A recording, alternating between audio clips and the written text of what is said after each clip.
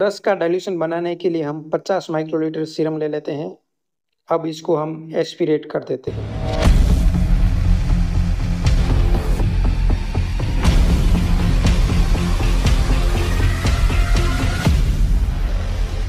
Hello friends welcome back to Prem Bhatia dilution के क्रम में इस तीसरे वीडियो में हम जानेंगे कि 110 का डाइल्यूशन का उपयोग करके बायोकेमिस्ट्री में किसी भी टेस्ट को हम किस प्रकार से लगाते हैं।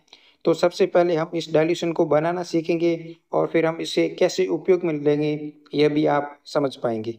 तो जैसा कि आप जानते हैं कि डाइल्यूशन बनाने के लिए मिनिमम तीन ट्यूब्स की ज़रूरत होगी, जिसमें आपकी जो पहली ट्यूब होगी, उसमें सॉल्यूशन वन होगा और वह एक स्टॉक सॉल्यूशन होगा। अर्थात जिसे आप डाइल्यूट करना चाहते हैं, वह ट्यूब वन में होगा। इसमें आपका सीरम हो सकता है प्लाज्मा हो सकता है ब्लड यूरिन ये सब या कोई भी बॉडी फ्लूड हो सकता है, जिसको आप डाइल्यूट करके टेस्ट लगाना चाहते हैं। नंबर टू ट्यूब में आपका सॉल्यूशन टू होगा, जो कि नॉर्मल सेलाइन हो सकता है या डिस्टिल वाटर हो सकता है। बायोकेमिस्ट्री में जनरली हम डिस्टिल वाटर यूज़ लेते हैं और एन आप उपयोग में ले सकते हैं। तीसरी ट्यूब का उपयोग हम इन दोनों सॉल्यूशन का निश्चित मात्रा में अमाउंट लेकर जो हमारा फाइनल सॉल्यूशन बनेगा, वो इस तीसरी ट्यूब में हम प्रिपेयर करेंगे। मान लीजिए एक सीरम को आप डाइल्यूट करना चाहते हैं तो इस सीरम की वन एमएल मात्रा एक आप ट्यूब में लेंगे और नाइन एमएल मात्रा आप नॉर्मल सेलाइन या डिस्टिल वाटर लेंगे ट्यूब टू से। और फिर इन दोनों अमाउंट को हम तीसरी ट्यूब में मिक्स करेंगे तो आप देखेंगे कि तीसरी ट्यूब में आपका टोटल वॉल्यूम 10 एम हो गया, जिसमें आपका 1 एम स्टॉक सॉल्यूशन यानी कि सीरम है और 9 एम डाइल्यूट है। तो यदि हम प्रैक्टिकली करके देखें तो हमारे सामने एक सीरम सैंपल है, जिसको हमें डाइल्यूट करना है और डाइल्यूट के रूप में हम डिस्टिल वाटर का प्रयोग करेंगे।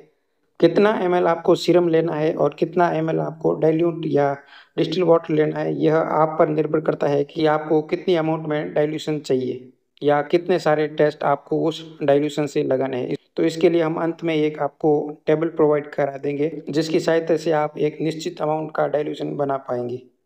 तो इस सीरम से डाइल्यूशन बनाने के लिए हम साढ़े चार सौ माइक्रोलीटर डिस्टिल वाटर एक ट्यूब में ले लेंगे।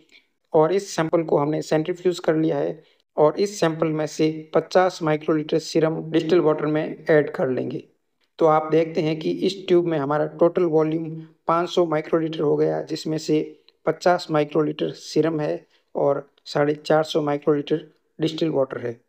तो इस डाइल्यूशन का उपयोग करके हम एक एस का टेस्ट लगाएँगे। तो हमें करना क्या होगा कि हमारा जो भी प्रोसीजर है एस टेस्ट का, उसके अनुसार ही चलेंगे। हमारे मामले में हम एक अरबा कैम का किट यूज़ ले रहे हैं, जिसमें हमें रिएजेंट लेना है 500 माइक्रोलीटर और यह डाइल्यूशन का टेस्ट दो मामलों में उस सिंपल टेस्ट से अलग होगा। पहला कि उस टेस्ट में हम जो भी सीरम सैंपल यूज़ में लेते हैं, उसके स्थान पर हम इस डाइल्यूशन का उपयोग करेंगे जो अभी हमने प्रिपेयर किया है। अर्थात, यदि हम एचजीपीटी टेस्ट के लिए 50 माइक्रोलीटर सीरम का उपयोग करते हैं तो 50 माइक्रोलीटर ही इस डाइल्यूट से हम एचजीपीटी के रिएजेंट में ऐड कर लेंगे और इसको एस्पिरेट कर देंगे। इसके बाद देखते हैं कि आपका टेस्ट कंटिन्यू होता है और आपका फाइनल रिज़ल्ट आ जाता है। तो यहाँ आप देख रहे हैं, इसका रिज़ल्ट आया है एक सौ छः पॉइंट तीन आठ, लेकिन यह फाइनल रिज़ल्ट नहीं है। तो फाइनल रिज़ल्ट प्राप्त करने के लिए आपको इस वैल्यू को टेन से मल्टीप्लाई करना होगा। तो अगर हम इस वैल्यू को टेन से मल्टीप्लाई करेंगे तो हमारा रिज़ल्ट आ जाएगा one zero six three point eight zero तो यह हमारी एस जी पी टी का रिज़ल्ट है। तो यह दो मामलों में अलग हो गया। एक तो आपको सीरम के स्थान पर डाइल्यूट यूज़ में लेना है, दूसरा आपको जो भी रिज़ल्ट आएगा, उसको टेन से मल्टीप्लाई करना है, अगर आप वन बाई टेन का डाइल्यूशन का उपयोग करते हैं। डाइल्यूशन के बारे में और अधिक जानने के लिए आप हमारी डाइल्यूशन का बेसिक वीडियो देख सकते हैं। और अब हम उस टेबल के बारे में बात कर लेते हैं, जिसका उपयोग करके आप किसी भी अमाउंट का सीरम सैंपल से किसी भी अमाउंट का डाइल्यूशन तैयार कर सकते हैं।